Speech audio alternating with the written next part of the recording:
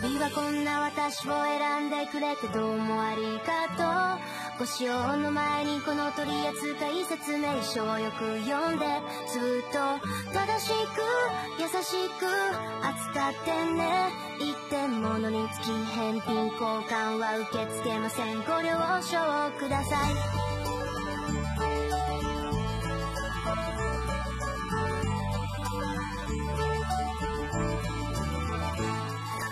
不機嫌になることがあります。訳を聞いても答えないくせにほっとくと怒ります。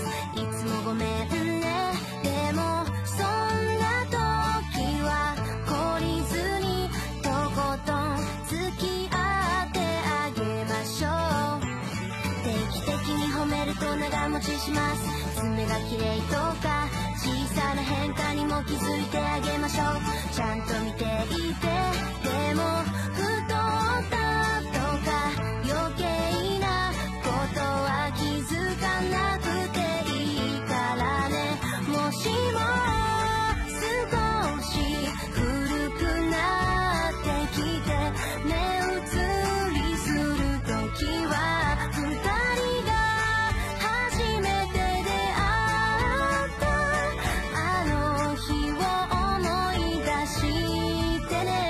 これか